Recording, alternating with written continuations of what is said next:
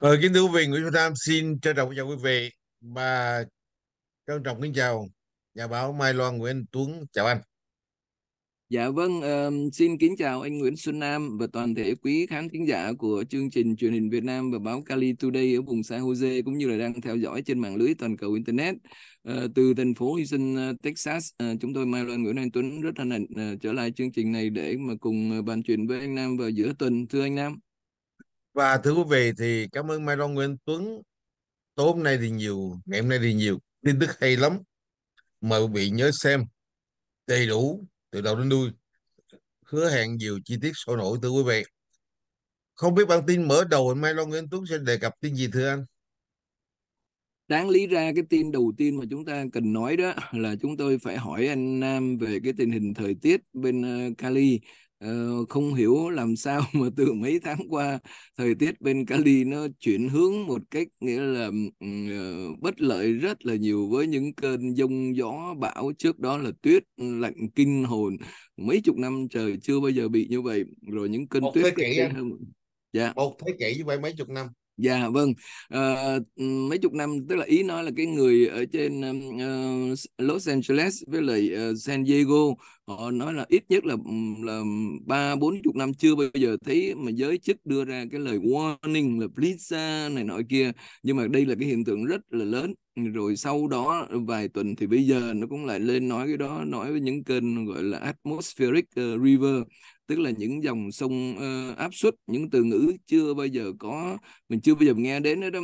Thì nó nói lên cái gì nó nói lên cái ờ, hiện tượng là uh, những cái hiện tượng về thời tiết nó rất là bất ngờ giông gió rất lớn đến nỗi mà người ta tiên đoán trước là là những cơn ừ, dông xuống những cơn mưa nó đổ nghĩa là lụt ừ, khắp nơi kinh hồn như vậy À, tuy nhiên cái chuyện đó thì cũng đã có nhiều người bàn đến rồi và chúng tôi nghĩ rằng là có lẽ người dân tại bên ờ, California đó thì cũng tập cái tính cẩn thận, nghe theo cái lời khuyên báo động của các giới chức đó là nếu như mình có đang làm cái chuyện gì mà không quan trọng đó thì nên ngừng lại tất cả, nghe theo lời khuyên, đừng có đi ra ngoài nhà ở trong ờ, đừng đi đâu đó hết để mà chẳng may mà bị kẹt giữa đường thì phiền lắm. Nhiều khi một chuyến đi mình nghĩ bụng là đi chừng nửa tiếng thôi, đi mua đồ này hay đi làm cái kia rồi sau đó về nhà biết đâu mình vừa mới ra được chừng vài đoạn đó mình kẹt cứng luôn, mình không về được nước, nó dâng lên, nó lụt lên vân vân đó là cái lời khuyên mà mà quan trọng nhất mà quý vị cần nghe.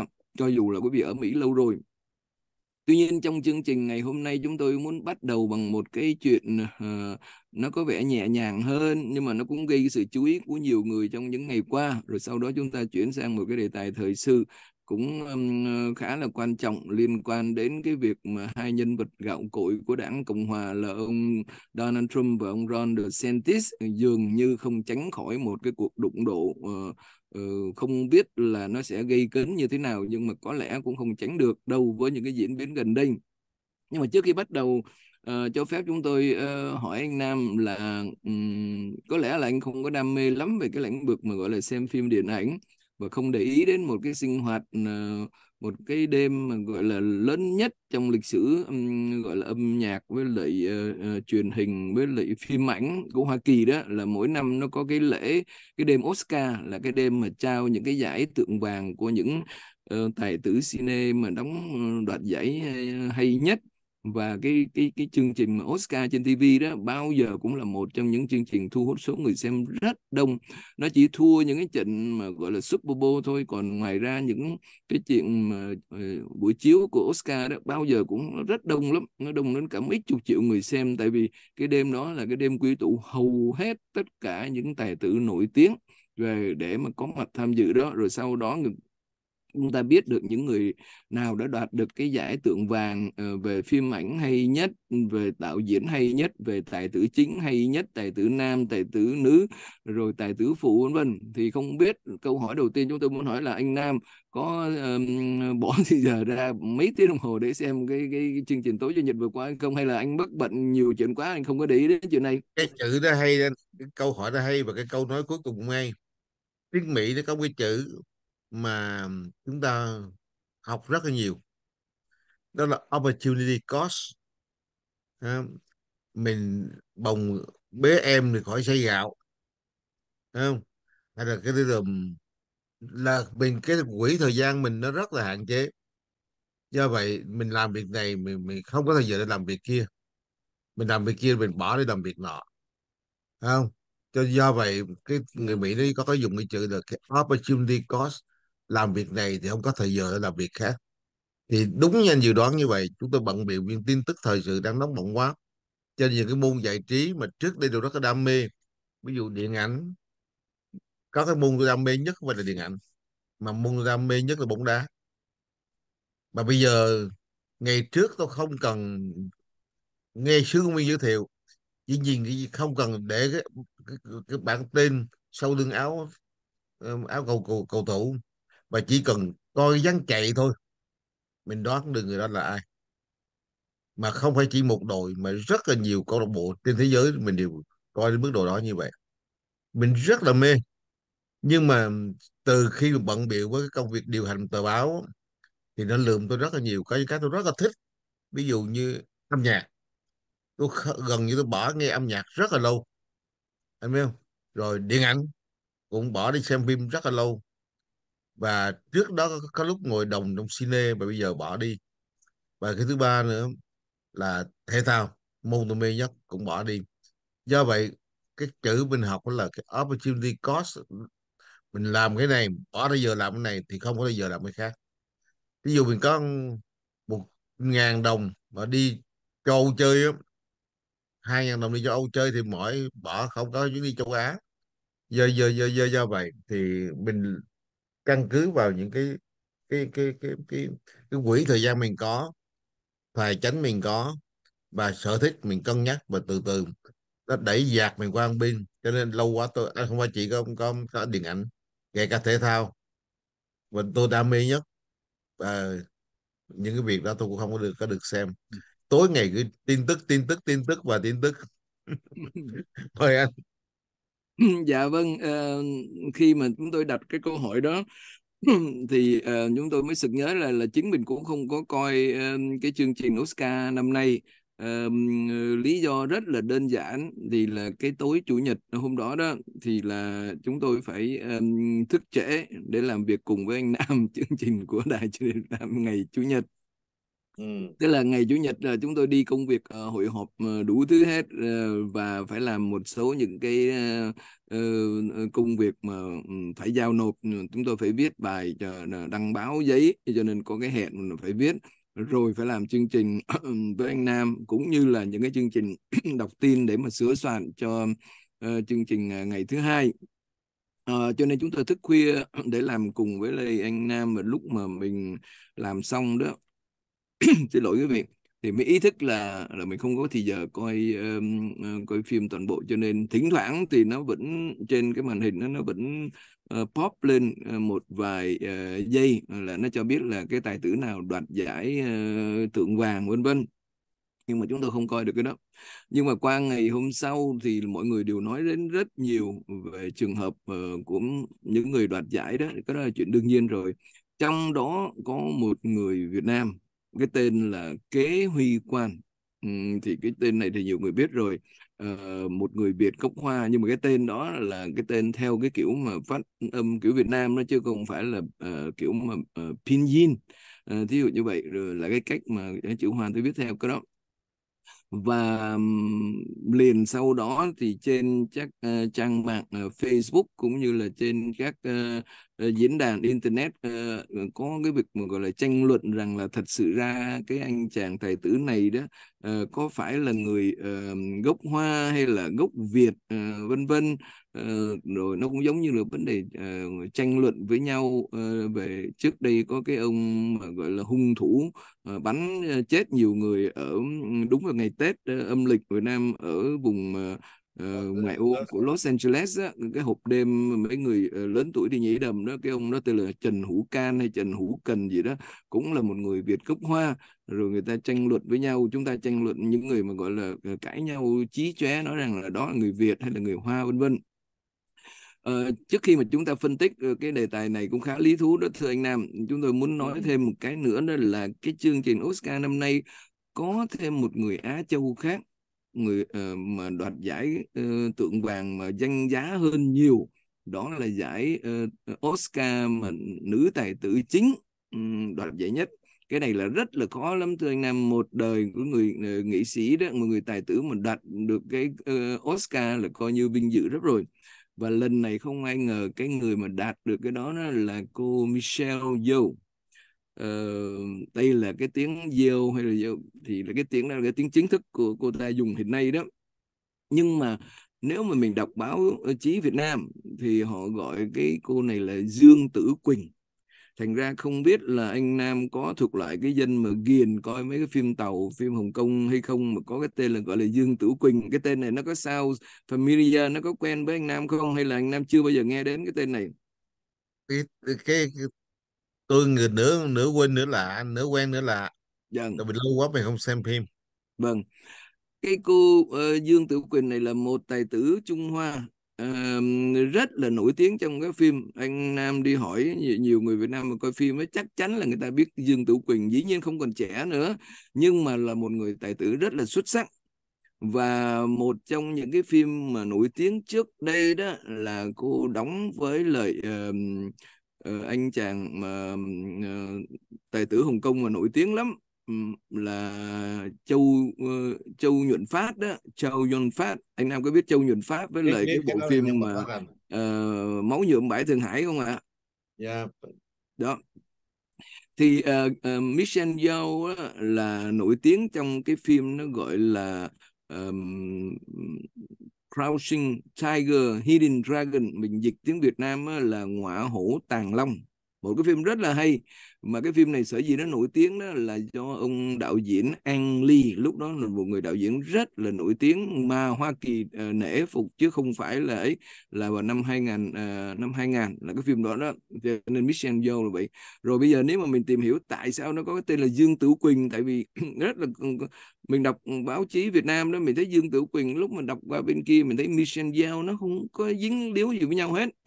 Nhưng mà nếu mà mình tìm hiểu đó thì mình mới biết là Mission Giao tên thật của cô ta đó phát âm là Yu Chu Keng tức là có thể từ cái phát âm đó người ta ở đây Dương Tử Quỳnh là như vậy.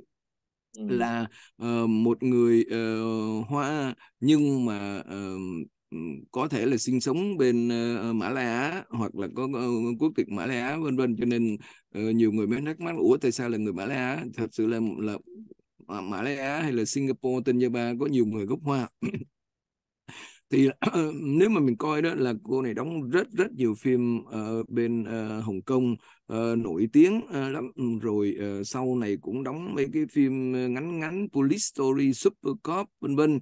Rồi uh, cũng uh, qua Hoa Kỳ đó đóng trong một cái bộ phim uh, của James Bond uh, đóng phim vai phụ Tomorrow Never Dies.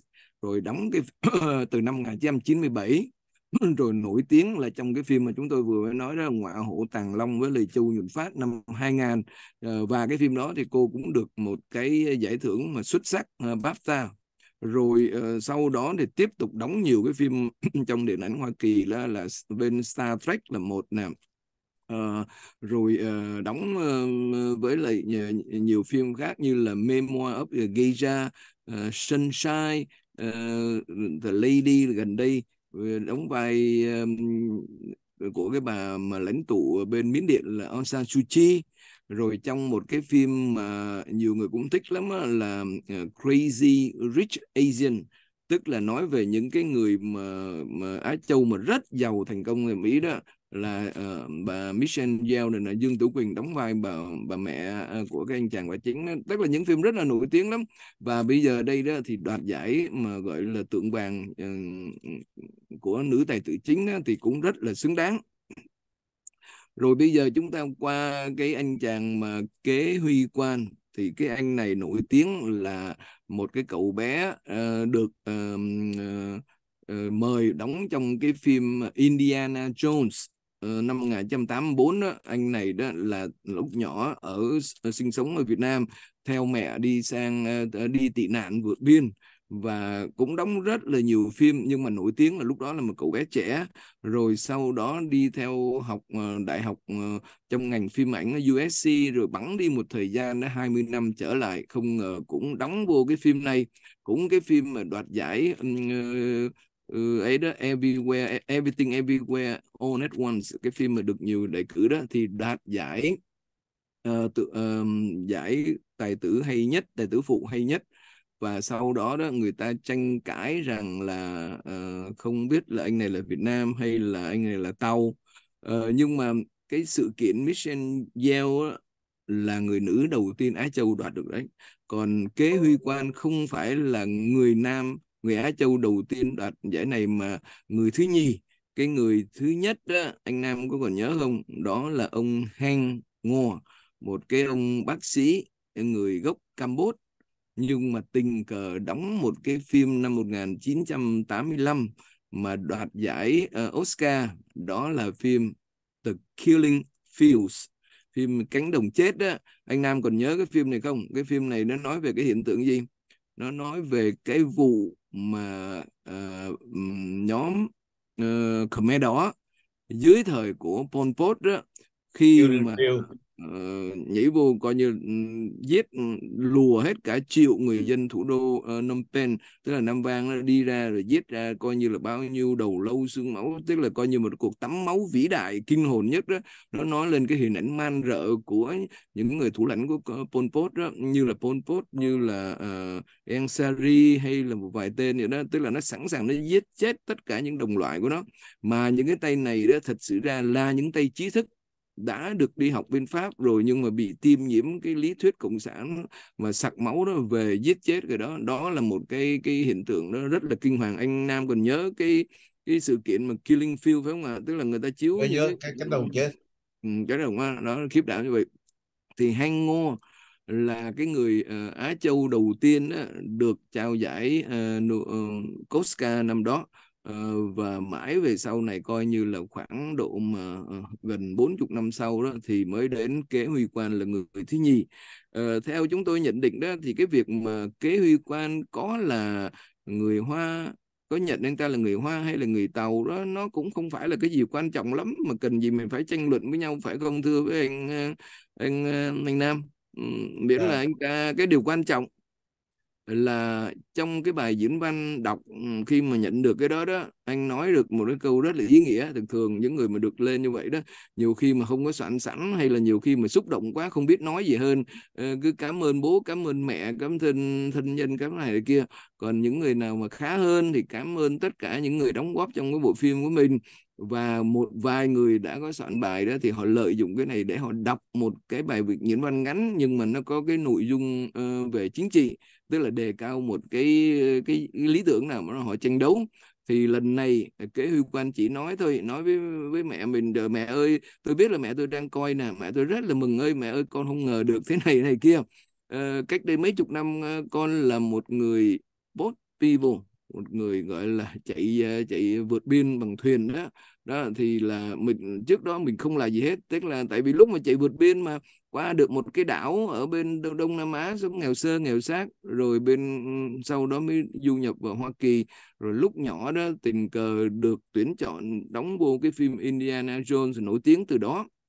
Và sau đó anh đeo đuổi nghiệp này thì đây là lần đầu tiên cái vai trò của người boat Pivo nó được đưa lên Oscar coi như được cả thế giới nói đến. Cho nên ngay cả những người mà trong ừ, nhà cầm quyền Việt Nam mà muốn lợi dụng cái này lấy hơi đó gọi là mình nói là lần đầu tiên có người Việt Nam ý nói là khoe khoang Việt Nam đó thì cũng nên coi là toàn bộ tức là cái bộ phim này nó nói đến cái vai trò của một người uh, gọi là post people mà tại sao nó xảy ra post people là tại vì có một cái nhà cầm quyền uh, uh, gọi là là cộng sản đó vô chiếm như vậy cho nên nó mới đẩy con người ta ờ, đi uh, gọi là phải vượt biên. Và uh, không biết anh Nam nhận định cái sự kiện này nó có đáng để mình tranh luận không? Tương tự như là mọi người lôi lại cái vụ mà cái hung thủ ở dưới vùng Los Angeles á, uh, đã bắn chết nhiều người vào đúng cái đêm uh, giao thừa tức là lễ giao thừa vừa qua.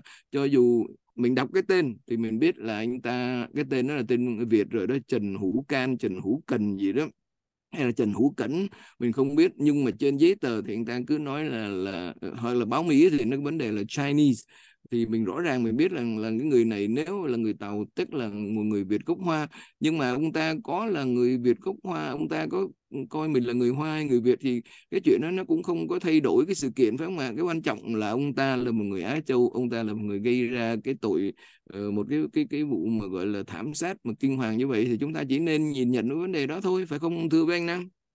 Đúng. Thì chúng ta thấy rằng cái chuyện mà nói chuyện tàu hay biệt á, đó là vấn đề cũng nên. Nhưng mà trong cái lịch sử của người Việt á, nó cái lẫn lộn nó nó pha dạ trộn nó, nó rất là nhiều. Anh cứ bảo anh tin chắc phần trăm Việt không? Tôi thì không tin chắc phần trăm Việt. Từ trong cái họ của mẹ tôi có một chút nào đó có liên quan đến người người Tàu. Do vậy thì trong dòng máu tôi không ít thì nhiều nhưng mà quan điểm chính trị thì tôi rất là ghét tổ cái ông Trung Cộng. Nhưng mà cái trong máu mủ thì có một chút bao nhiêu mình không dám biết. Tại vì các người các thế hệ xưa mà cái dòng máu nó chạy trong mình là có ít là dính người người người, người Tàu. Nhưng mà tôi không quan tâm điều đó lắm. Đúng. tôi, tôi, tôi không quan tâm điều đó. cái vấn đề phẩm chất con người là tư cách của người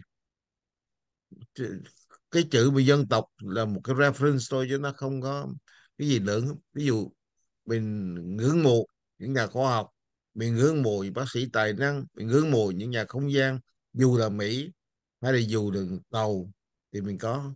Nhưng mà sau cái thời kỳ cộng sản của của, của Tàu thì tôi là càng có khó chịu với cái, cái đường lối của đảng Cộng sản Tàu nhiều hơn. Chứ còn đối với dân tộc Tàu tôi không quan tâm lắm. Cho nên Vâng, rồi ờ, người ta chú ý đến hai cái người Á Châu đó đó ờ, là cái cô người Hoa ừ, ờ, người Mã Lai gốc Hoa là Michelle Yeoh là Dương Tử Quỳnh. Cái thứ hai là Kế Huy Quan hay là Quan Huy Kế. Người ta quên mất đi là trong cái Oscar ngày hôm qua à, ngày Chủ nhật vừa qua có thêm một người Việt Nam cũng rất là nổi tiếng. Và nếu như mà vận may đó có thể cũng làm nên là lịch sử là cô này cũng là người Việt Nam, là tên là Hồng Châu, tức là cái tên hoàn toàn là Việt Nam rồi. Và cô này đã được nominate, tức là được ừ, gọi là đề cử cho cái vai ờ, Oscar luôn mà vai nữ ừ, đóng vai phụ. Anh Nam biết rồi là là biết bao nhiêu phim mà được uh, trình chiếu nhưng mà khi mà mình lọt vào được đề cử đó tức là mình vào trong cái vòng bán kết rồi tức là lúc mà lựa chọn là người ta chỉ lựa chọn trong bốn năm người được ờ, đề cử thôi. Cho nên ờ, được đề cử nominate rất là giỏi có nhiều tài tử nổi tiếng của Hollywood đó là coi như được đề cử rất nhiều lần nhưng mà không bao giờ đoạt giải hết đó nhưng mà vẫn nổi thì Hồng Châu này đó thì là được ờ, đề cử cho cái phim nó gọi là The Whale là tức là con ờ, cá voi. Thì chỉ chỉ khi nào mà ai mê lắm đi coi thì mới biết. Nhưng mà lúc mình đọc là tiểu sử đó thì mình thấy là cô đã từng nổi nổi tiếng trong cái phim Downsizing năm 2017 và cô cũng từng đóng rất nhiều uh, lại phim ảnh khác nhau trên TV uh, và uh, Watchmen nè, Tremi nè rồi uh, và nhiều cái phim lẻ khác nhau nữa và uh, cái quan cho nên cô mới được uh, nổi tiếng như vậy. Nhưng mà có lẽ anh Nam uh, thì cũng không có để ý đến cái tên này cũng không biết tên này. Cá nhân chúng tôi cũng không có biết đến cái cô này. Phải không ạ? À, yeah. cái, điều, cái điều đó không sao không có gì quan trọng hết đó tại vì mình không để ý coi phim mà phim mà tài tử mà hạng nhất mình còn chưa biết chừng nó tài tử phụ. Nhưng mà cái này mới là lý thú nè thưa anh Nam khi mình đọc vô tiểu sử đó thì mình mới thấy cũng nhiều điều nó nó nó gần với mình lắm. Giống còn mà cô này đó là uh, bố mẹ người ở Việt Nam sinh sống rồi cũng vượt biên. Uh, rồi trên cái đường vượt biên đó thì là um, coi như là uh, không biết là có bị hải tặc hay là cướp gì đánh nhau đến nỗi mà bố của cô bị bắn gần chết mẹ của cô lúc đó là mang bầu cô là 6 tháng cho nên khi mà được vào đất liền ở trong một cái trại tị nạn ờ, ở bên Thái Lan đó, cô uh, được sinh ra ở đó. Rồi được một cái nhà thờ uh, công giáo ở bên New Orleans tiểu bang Louisiana bảo trợ sang. Và cô lớn lên từ ở bên New Orleans. Anh Nam biết rồi ở bên New Orleans nó có mấy cái làng uh, của người Việt Nam mà chung quanh đó đó là có một cái nhà thờ uh, công giáo. Cho nên giáo dân họ tụ về đó đa phần họ sống về nghề đánh tôm đánh cá. Rồi họ lớn dần con cái lớn dần đi uh, có một số nó đi ra đi ra riêng này kia. Nhưng mà nhờ cái đó đó nó làm cho thành phố New Orleans nó nổi tiếng là có nhiều cái um, cộng đồng người Việt Nam tại đây. Cái quan trọng đó mình cần nhấn mạnh ở đây đó là sau khi mà cô này cô lớn lên ở New Orleans rồi cô đi học uh, theo ngành nghề khác chứ cô không ở đó. Cô đi học về Boston uh, ấy học về uh, uh, học về truyền thông rồi sau đó đi làm uh, dấn thân vào uh, phim ảnh. Và cô không có được người ta nói đến nhiều đấy là tại vì cô đi chuyên vào vào lĩnh vực Hoa Kỳ. Và có lẽ cô không có gắn bó với cái cộng đồng Việt Nam mà tại vì cô thành công ở đó. Và cô nói tiếng Anh nhiều hơn là tiếng Việt cho nên mình không nghe nó nói đến thì đây là một cái chuyện rất là bình thường. Anh Nam có con mà thành công lớn lên ở đây uh, chúng tôi cũng vậy hoặc nhiều người khác vậy. Con mình nó, nó tuy là bố mẹ Việt Nam đó tuy là cái gốc ở Việt Nam đó nhưng mà nó nó, nó lớn lên nó học nó hấp thụ đó thì nó trở thành như Mỹ thôi. Nó nó không có để ý đến cho dù nó mang tên hoàn toàn là tên Việt Nam nhưng mà nó thành công mình mừng cho nó. Nhưng mà cái quan trọng đó là mình nhìn Hồng Châu Kế Huy Quan cái gì đó là người Mỹ phải không ạ? Nó là người người người Mỹ gốc Việt hay gốc Hoa gì đó nhưng mà nó hoàn toàn Mỹ nó thành công như người Mỹ và kia.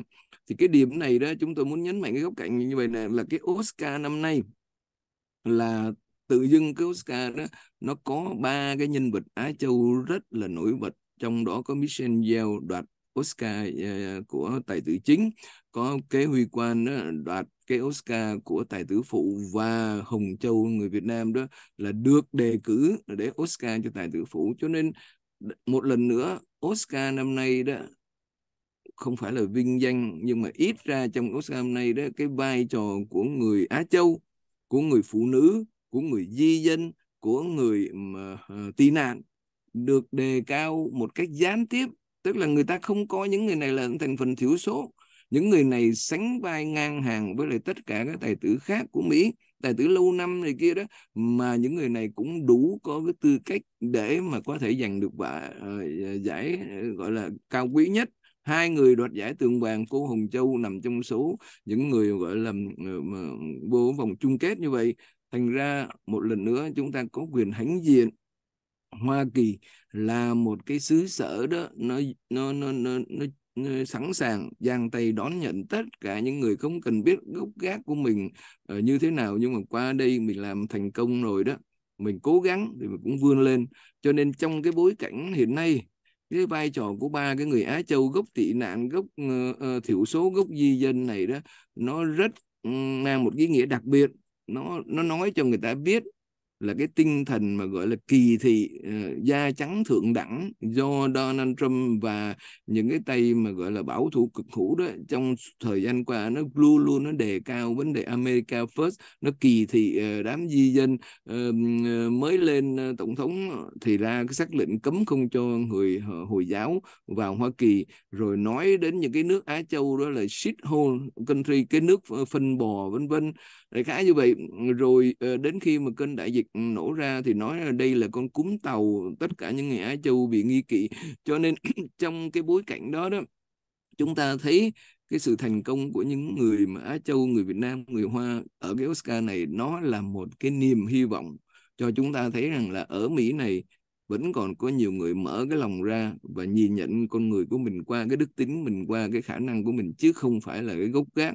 Và cái khái niệm gọi là America first, người Mỹ là trên hết, người Mỹ trắng, người Mỹ là thượng đẳng đó, là cái khái niệm đó, nó phải đi thụt lùi ừ, về sau và những cái người Việt Nam nào mà không biết cần ý thức chạy theo cái đám đó, đó là mình cho rằng là quý vị đã lựa chọn rầm rồi. Chúng ta phải hãnh diện chúng ta đừng có cái mặc cảm rằng là mình là người thiểu số là mình phải gặp da trắng là mình phải uh, lụy nó mình phải sợ nó mình bở đít nó. Trong khi đó thì gặp người da đen thì mà lại khinh khi ra theo cái thói quen mà gọi là đội trên đạp dưới của rất nhiều người Việt Nam.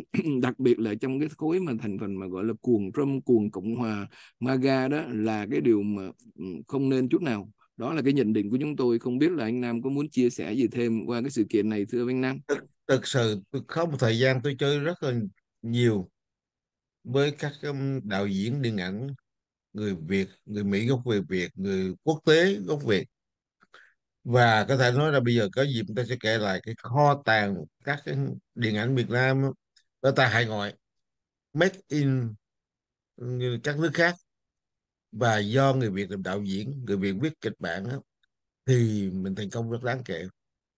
Bây giờ những trong cái điện ảnh trong nước bây giờ đó cả trăm triệu dân như vậy nhưng những đạo diễn diễn viên từ hải ngoại về cũng chiếm vai trò rất quan trọng. Không hơi chiếm họ vai trò rất quan trọng vào điện ảnh trong nước mà đối với điện ảnh quốc tế họ cũng chiếm vai trò rất quan trọng. Thì bỗng nhiên tôi nghĩ rằng sau năm 1975 thì Việt Cộng chiếm được miền Nam nhưng họ đánh mất những tinh hoa dân tộc. Ai cứ nhìn được cộng đồng người Việt hải ngoại coi.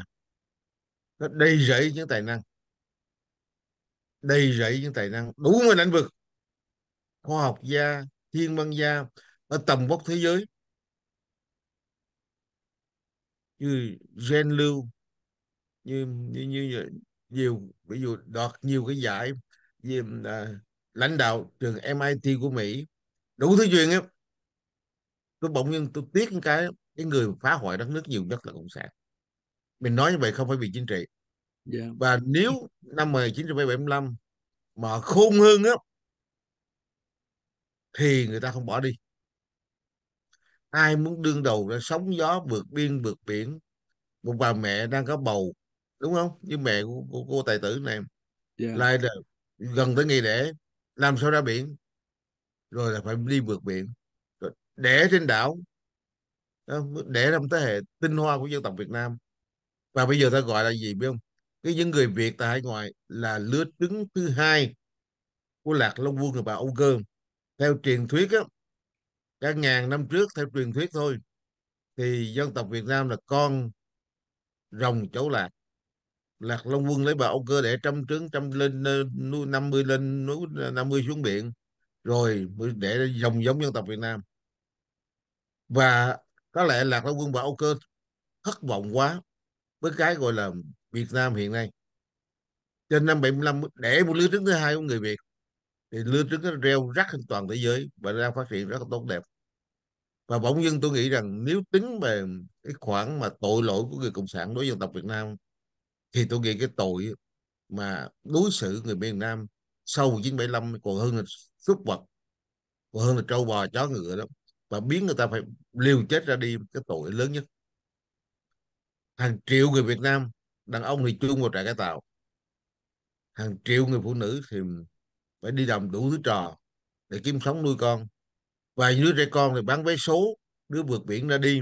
Cái dân tộc nó nó nó nó nó, nó cuồng quạt thưa quý vị và bây giờ bây giờ anh nhìn lại đi. Họ đang muốn tìm cách họ ra, họ ve vãn hay gọi bây giờ từ đó là gì? Hồi đó là phản động. Hồi đó là bán nước. Hồi đó là đủ thứ chuyện. Và bây giờ gọi là khúc ruột ngàn dặm. Thấy không? Cái miệng nó lắc léo. Thực sự nếu thằng Việt kiều này mà nó không có thành công, không có tiền bạc, chất xám nó anh không cần, đô la nó anh không cần anh cũng chẳng gọi là khúc ruột ngàn dặm khúc ruột gì đồ trơn hết trơn. Do vậy chúng ta nói như vậy thì cho thấy rằng cái cái và tôi tin chắc rằng càng ngày càng tương lai nữa cái, cái cộng đồng người Việt sẽ là những đóa hoa rực rỡ trên thế giới. Và tôi nghĩ trong lúc nào đó hồn thiên song thú phải chảy nước mắt. Nhìn thấy con hồng chỗ lạc lẽ ra làm tươi thắm của đất nước này bây giờ họ bỏ đất nước ra đi hết. Mà bây giờ biết không bây giờ tới phiên tới phiên cộng sản cũng chạy. Bây giờ mấy ông cũng bắt đầu chạy rồi tìm cách cho qua Mỹ đầu tư chuyển tiền mua nhà đưa con du học. Vậy thì xây dựng đất nước sau chủ nghĩa đến lúc nào mới xong? Một triệu năm nó chưa xong. Thưa quý vị thì đó, cho nên hôm nay nhân cái việc mà bà tôi phải Long Nguyễn Tuấn kể cho quý vị nghe. Một số gương thành công của người Việt, gốc Việt, trong lĩnh vực điện ảnh mà ở cái giải Oscar của thế giới.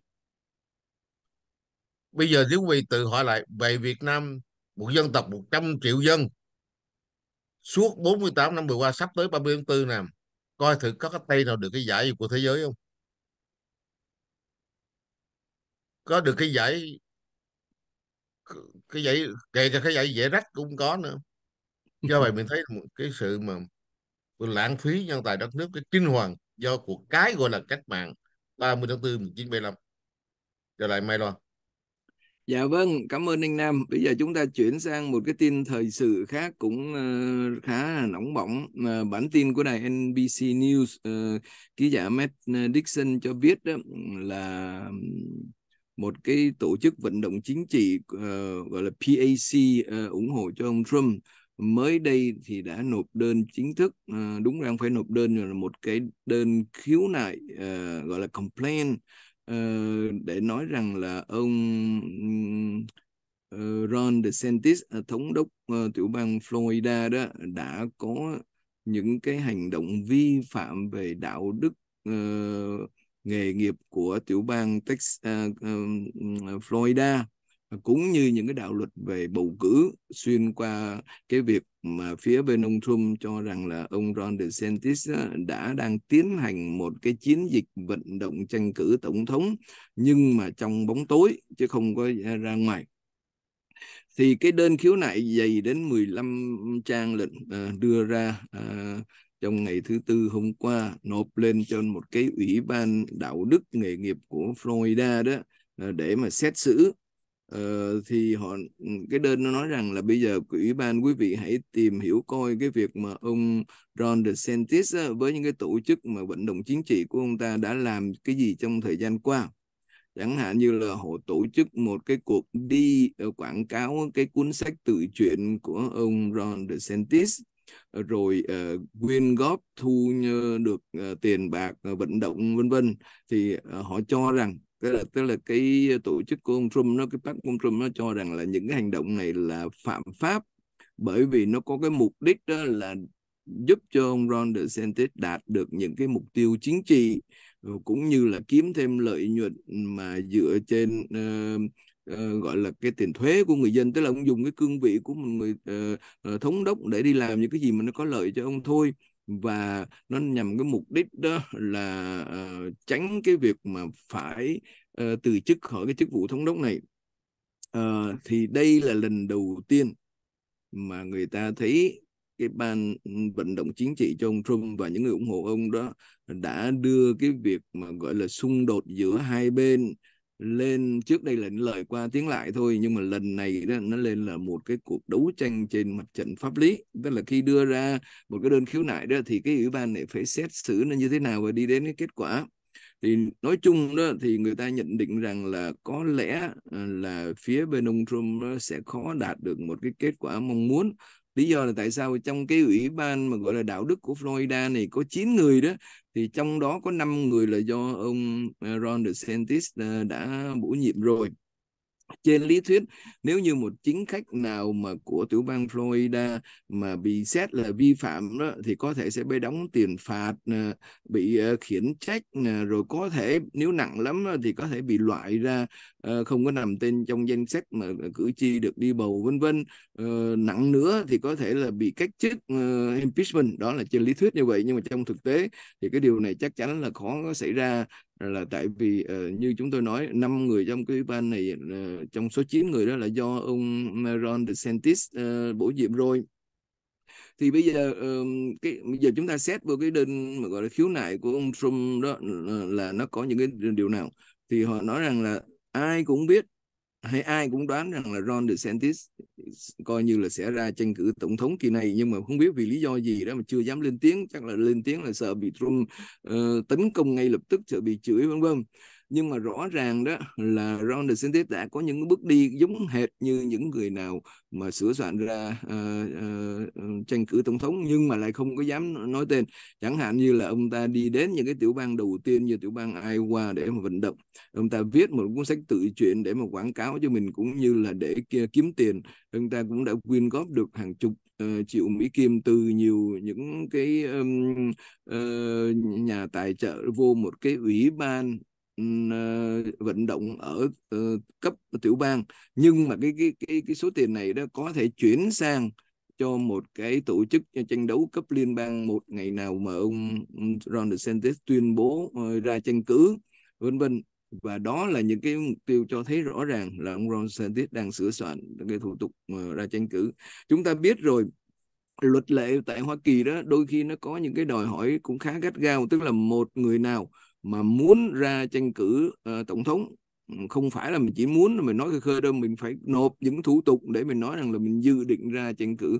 Thì ngay cái lúc đó đó cái việc mình đi vận động khắp nơi mình quảng bá khắp nơi mình tuyên tiền cái nó không còn là một cái hành động phạm pháp chứ không thể nào mà mình cứ làm y hệt như là đi vận động nhưng mà mình lại không nói ra không có, có, có nói một cách rõ ràng. Thì cái điều đó luật lệ tại Hoa Kỳ nó không có cho phép làm như vậy lý do mà tại sao ông uh, cái cái cái ban uh, gọi là vận động chính trị mà ủng hộ ông Trump á, tại sao họ nộp đơn ờ, khiếu nại như vậy?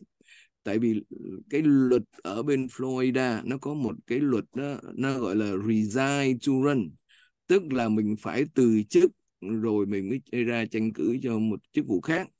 Nó nói rằng là bất cứ một viên chức nào đó đang nắm một cái chức vụ này mà mình muốn ra tranh cử cho một cái chức vụ khác đó, thì mình phải từ chức chỗ này. Rồi mình mới tranh cử. Nếu như cái thời kỳ ờ, cái nhiệm kỳ của hai cái chức vụ này đó nó chồng lên nhau, tức là mình đang, ông Ron DeSantis, ông đang làm thống đốc đến 4 năm, thì đến năm 2024 ông ra tranh cử. Nếu như ông đắc cử thì là cái nhiệm kỳ tổng thống đó nó trùng với cái thời gian ông ờ, Ron DeSantis vẫn còn làm thống đốc. Cho nên luật tại Florida nó quy định là muốn như vậy đó là ông Ron DeSantis phải từ chức trước rồi mới ra tranh cử chứ không có được quyền ôm đồm cả hai bên như vậy. Thành ra trên nguyên tắc là cái tổ chức PAC mà ủng hộ ông Trump có lý do khi mà họ nộp đơn như vậy. Còn phía bên ông Ron DeSantis á, thì hiện thời bây giờ đó thì là các um, uh, phụ tá của ông nói rằng là đây là một cái đơn kiện tào lao nó gọi là frivolous ờ, ờ, uh, uh, lawsuit vân vân. Nhưng mà cái đó thì mình hạ hồi phân giải mình sẽ để cho cái ủy ban đó nó cái ủy ban gọi là đạo đức đó, nó đưa đến kết quả như thế nào. Nhưng mà trong dư luận quần chúng đó thì là điều này nó sẽ cho thấy là những người ủng hộ cho ông Ron DeSantis một cái cuồng nhiệt và những cái cử tri mà gọi là cuồng Trump đó chắc chắn là sẽ khó tránh khỏi cái việc mà phải lựa chọn một trong hai bên tại vì mình không thể nào mà mình uh, ở mờ đứng giữa nữa. Mình sẽ nói là hoặc là ủng hộ cho Trump hoặc là ủng hộ cho DeSantis có, có nghĩa là nếu ủng hộ cho Trump bây giờ đây đó thì phải uh, chống lại The, uh, Ron DeSantis. Và nếu ủng hộ Ron DeSantis bây giờ tức là phải chống lại Trump. Đây là một cái vấn đề hết sức là nhức nhối. Không phải là cho ông Trump mà cho ông DeSantis cũng như là cho tất cả những người mà của đảng Cộng hòa ờ, còn lại. Có phải không thưa với anh Nam? Nếu mà yeah. vậy không? Nhưng mà cái cái, cái luật đó muốn hỏi rõ ràng hơn. Cái luật có áp dụng ở cấp trung ương hay là có cấp địa phương không cấp ở uh, uh, tiểu bang um, Florida thưa anh Nam. Đấy, đó là lý do mà tại sao cái uh, tổ chức uh, chính trị uh, vận động chính trị của ông Trump uh, họ nộp đơn lên trên cái ủy ban của tiểu bang Florida. Tức là cái ở Florida nó có một cái tiểu bang đạo đức tức là nó xét coi coi là những cái viên chức chính quyền tại Florida có làm những cái hành động nào đó mà vi phạm vào đạo đức nghề nghiệp hay không. Từ đó nếu có thì họ sẽ đưa ra những cái hình phạt từ nhẹ tới nặng nặng nhất là có thể là bị uh, tước uh, khỏi cái cái chức vụ này impeachment khỏi chức vụ này thưa anh Nam. Tôi thời tôi hỏi như vậy là tại vì tôi biết có rất là nhiều cái vị dân cử đang ở trong giữa nhiệm kỳ của chức vụ này lại ứng cử một chức vụ khác cái điều ở nhan nhãn tại California. Thì cái tôi hỏi anh đó cái luật đó nó phải hết nhiệm kỳ này hay phải từ chức mới ra ứng cử nhiệm kỳ, kỳ, cái công việc khác đó cái luật đó là địa phương của, của California Florida hay là cái luật của nationwide anh? Cái luật đó là cái luật của mỗi tiểu bang thưa với anh um, Nam. Tức là mỗi tiểu bang đó mình có cái uh, đạo luật khác nhau. Uh, là người ta muốn tránh cái trường hợp mà một cái viên chức nào có ôm đồm cả hai bên thí dụ như vậy. Là ừ. state law. Dạ. Yeah. luật của tiểu bang. Dạ vâng luật của tiểu bang thôi dạ vâng. Thì uh, nhưng mà cái luật tiểu bang nó ảnh hưởng rất là quan trọng. Mình nói thí dụ như là bây giờ tiểu bang Florida cái ủy ban này nó nói là cái ứng cử viên Ron DeSantis không đủ tiêu chuẩn để ra ứng cử thì cũng phải chịu thôi. Thì là là nó ừ. sẽ ảnh hưởng chứ không phải là um, là mình chỉ nghĩ đến cái luật của uh, liên bang thôi. Chẳng hạn như là cái luật của một tiểu bang nào đó nó nói là cái ứng cử viên ABC đó sẽ không có được có tên nằm trong cái um, phiếu bầu thì cho dù là cái ứng cử viên đó ờ, một ứng cử viên tổng thống ở cấp liên bang đó có thể là tranh cử ở 49 tiểu bang còn lại nhưng mà ở cái tiểu bang đó không được tên thì cũng đành chịu thôi. Cho nên có những cái luật tiểu bang đó nó vẫn được áp dụng nhưng mà song song với đó đó cái luật tiểu bang nó cũng ảnh hưởng đến cái cái cái cái, cái phần vụ của mình là vậy. Thì đã trên lý thuyết nếu như uh, cái ủy ban này mà nó tuyên bố có lợi cho ông Trump thì đương nhiên ông Ron DeSantis sẽ bị lãnh cái hậu quả rất nặng nề, bị phạt phạt nhẹ, đóng tiền phạt ờ, bị khiển trách hoặc là nếu bị nặng nữa thì bị tước đi cái quyền mà có tên trên phiếu cử tri. Chúng tôi không tin rằng cái điều đó sẽ xảy ra. Nhưng mà trên lý thuyết thì điều đó có thể xảy ra, nhưng mà dẫu sao đi nữa, phải chăng đây là cái dấu hiệu mở màn cho cái cuộc mà đối đầu giữa Donald Trump và Ron DeSantis không có thể tránh khỏi nữa phải không thưa bên Nam? Thì ông ông ông đối đầu ám ảnh lắm.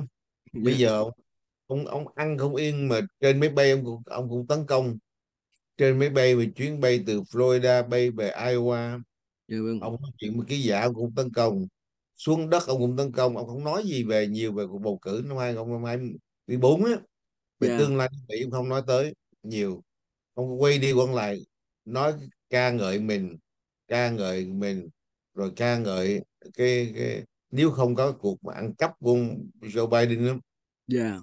phiếu thì tôi đã là tổng thống uh, rồi. Rồi xong gì nữa là chửi DeSantis chỉ như vậy thôi. Cho yeah. nên chưa có một, một ứng cử viên nào tranh cử các nghèo nàn như ông Donald Trump yeah. không có gì để nói. Nghe hoài cũng vậy. Yeah rồi chuyện đó rồi còn gì nữa không thưa anh? Dạ vâng uh, thì uh, cái chuyện đó là cái chuyện mà nó hứa hẹn là trong những ngày tháng sắp tới rất gần thôi.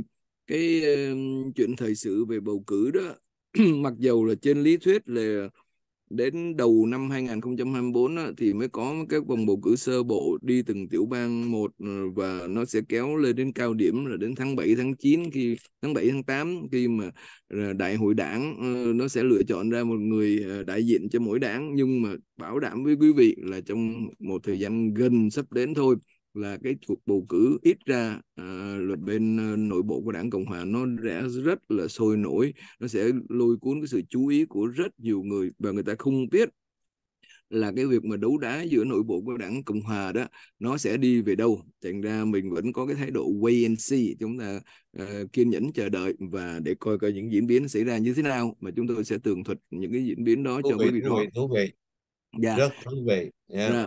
Vâng, còn cái trong cái phần chót của cái chương trình hôm nay chúng tôi muốn chia sẻ với anh Nam một cái chuyện mà uh, buồn cười của những người cho đến giờ phút này vẫn tin vào những cái tin dối trá mà mình nghĩ cũng là uh, uh, cái không biết là cái đầu óc cái trí thông minh của họ ở đâu mà họ vẫn tin vào những cái thông tin như vậy À, anh Nam cũng đã từng nói rồi tại sao đến giờ này cũng có người tin như vậy? Mà mình làm nghề truyền thông mình cố đưa ờ, đưa ra những thông tin để giúp cho người dân ờ, thu thập được những thông tin mà mà đứng đắn đó mà họ không nghe họ cứ cố tình họ tin vào những cái thông tin mà mà, mà gọi là xạo láo mà, mà mình thấy rõ ràng là nó ngu xuẩn dễ sợ mà ta vẫn tin những người trên các uh, trang mạng uh, truyền thông trong những ngày qua đó họ nhận được một cái email truyền ra rồi mọi người cùng nhau phát tán chạy những hàng tự chữ rất là to uh, viết chữ hoa lên. Uh, anh Nam cho phép tôi đọc nguyên văn của họ viết như thế này nè. Bùng nổ lớn. Đó chấm dấu chấm than. Chủ tịch ủy ban giám sát hạ viện dân biểu James Comer nói rằng hiện chúng tôi đã có trong tay các tài liệu minh chứng là gia đình của Joe Biden đã nhận tiền từ đảng Cộng sản Trung Quốc. Đó là cái tựa.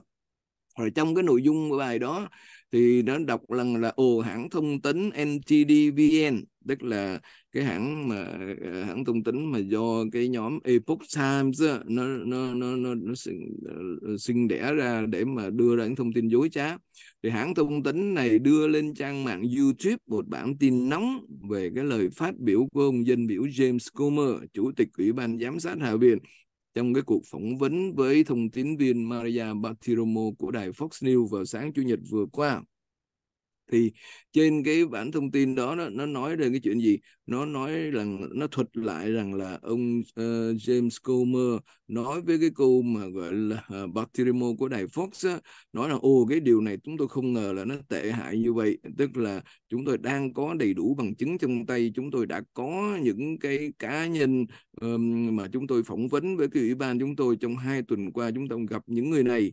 Và tổng cộng là có bốn người mà có những cái liên hệ với gia đình của ông ờ, Biden trong nhiều cái âm mưu khác nhau ờ, và giờ đây đó là chúng tôi có trong tay rồi. Ờ, những cái bằng chứng cho thấy là gia đình của ông Joe Biden đã nhận tiền từ cái đảng Cộng sản Trung Hoa. Bùm, wow, đúng là bùm như vậy. Trước khi mà chúng ta bàn về cái chi tiết này, xin hỏi nhỏ anh Nam, hỏi lớn hỏi nhỏ cũng được, anh Nam cứ việc trả lời thẳng anh Nam có tin thật sự là không phải là chuyện ông Biden có nhận tiền hay không? Anh Nam có tin rằng là cái ông dân biểu James Comer hiện nay chủ tịch của cái ủy ban giám sát hạ viện đó, có nói với là phóng viên của đài Fox News cái câu như vậy hay không thưa anh? Tôi chúng tôi tin. đã có tài liệu minh chứng gia đình Joe Biden đã tôi tôi không tin anh. Dạ, cái rationale đó tôi không tin. Dạ vâng thứ hai nếu giả sử như là ông James Comer mà có nói một câu như vậy đó thì giới truyền thông trên nước Mỹ họ có làm ngơ chuyện này không hay là họ tường thuật? Và nó sẽ nổ nổ tới cung trăng luôn như vậy và trong ngày hôm qua đó trong ngày hôm hay trong mấy ngày vừa qua tức là họ nói là ngày chủ nhật vừa qua đó tức là ngày hôm nay chúng ta là ngày thứ tư rồi. Trong từ nếu mà thực sự sự mà ông James Comer ông nói cái điều đó đó thì là bảo đảm với anh Nam là giới truyền thông họ im lặng không? Chắc chắn là không phải không ạ? Một cái tin như vậy là một cái tin đâu phải là chuyện thùa các ông bà dân biểu mà của Cộng hòa MAGA như là Matt Gaetz hay là Marjorie Taylor Greene nó có thể dùng những từ ngữ rất là nặng nề để mà chỉ trích ông Trump phải không ạ? Nó có thể ừ. nói là ông này là liar, là một người nói dối. Nó nói ngay trong cái buổi ông Trump đọc bài diễn văn mà. Nhưng mà có người nào, có tên nào dám nói là tôi có bằng chứng là ông Trump nhận tiền từ chính phủ Trung Quốc không?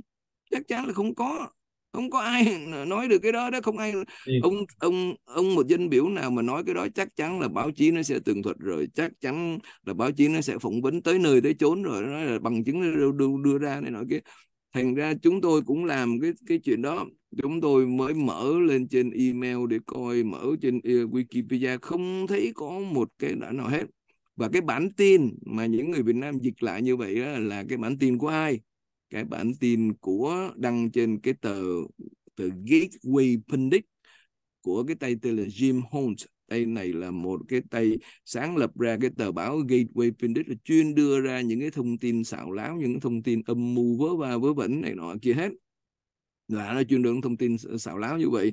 Nhưng mà tại vì nó nó nó nó nó là rác rưởi rồi cho nên người ta không có thèm chú trọng đến nó. Chứ nếu nó đăng Fox thì chắc chắn là nhiều người sẽ đem ra để mà tấn công Fox. Tại sao đưa thông tin dối trá? Giống như là Đỗ Mỹ Nhân, nó phỏng vấn, nó đưa ra, nó kiện Fox về cái tội mà đưa thông tin dối trá. Nó đòi bồi thường đến 1 tỷ 600 triệu cơ mà mà chúng ta chưa biết là nay mai đó là có thể là Fox đang ngồi trên cái đống lửa đang chờ biết là cái kết quả của vụ kiện này đi đến đâu.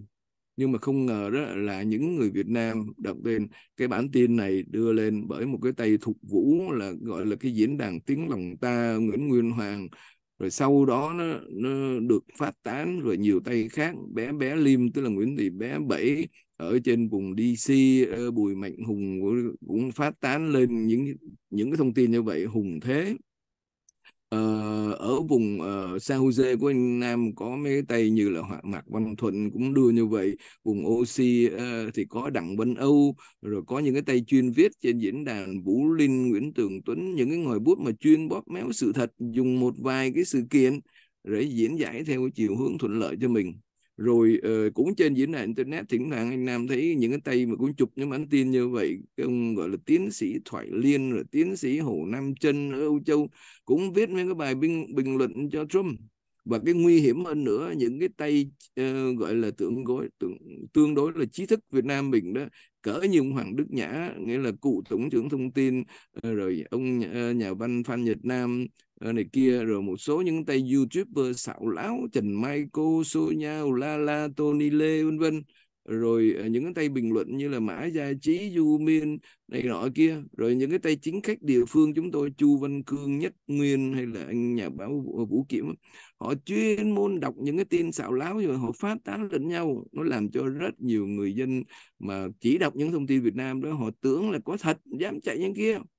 Rất may trên cái diễn đàn từ Gateway Pundit đó, có một ừ, ờ, người đọc người Mỹ đó họ đọc họ comment. Cái ông người Mỹ đó là Tommy đó ông nói rằng là trời ơi ông dám nói rằng viết cái câu là chúng tôi có trong tay những cái tài liệu cho thấy là gia đình ông ờ, Biden đã nhận được tiền từ đảng Cộng sản ờ, Trung Quốc. Vậy thì cho chúng tôi thấy đi cho cả thế giới này thấy cái tài liệu mà quý vị có là cái gì? Bởi vì cá nhân tôi tôi mệt mỏi quá rồi tôi chán nản là quý vị cứ đưa ra những thông tin là bom nổ hay là breaking news này nọ kia toàn là những tin tào lao không thôi. Cho nên ừ. cho phép chúng tôi tạm diễn dịch cái câu của anh này và cũng là cái lời nhắn cho những người Việt Nam cuồng Trump mà nãy chúng tôi nói đó. Bùng nổ nhưng mà bùng nổ lớn trong quần của những cái tay cuồng Trump mà thôi. Và để kết luận đó là chúng tôi dám thách thức một cách thẳng thừng ngay trên làn sóng của truyền hình Việt Nam tôi đố quý vị mà tìm ra được bằng chứng nào cái ông James Comer dân biểu chủ tịch của cái ủy ban giám sát hạ viện House Oversight Committee nói với lời bà Pontiremo của đài Fox News là chúng tôi có trong tay các tài liệu minh chứng gia đình Joe Biden đã nhận tiền từ đảng Cộng sản Trung Quốc đó. Chúng tôi sẽ đi gặp quý vị, chúng tôi quỳ xuống xin lỗi, chúng tôi gửi cho quý vị một ngàn đồng ngay tại chỗ còn nếu không có chúng tôi không đòi hỏi quý vị đền bù cái gì hết. Quý vị chỉ làm ơn câm miệng lại sám hối từ giờ và sau. Đừng bao giờ đưa ra những thông tin dối trá như vậy. Nó làm vĩnh đục cho cái ngành truyền thông. Nó xem thường cái trí thông minh của người Việt chúng ta. Xin trở lại với anh Nam. Rất là cảm ơn anh đã dạ, thưa quý vị được bạn nói chuyện hôm nay rất là hay. À, và quý vị đã được deliver đúng cái product mà Nam đã hứa.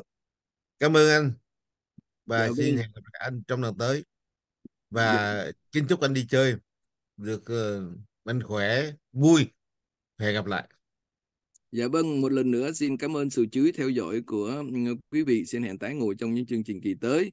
Trong cái uh, chuyến đi kỳ này chúng tôi đi sang Pháp và bên Ý. Nếu như là không có cái ờ, trở ngại về internet. Chúng tôi cũng sẽ cố gắng uh, thực hiện cái chương trình này cùng với lại uh, quý anh trên chương trình của truyền hình Việt Nam và Cali Today.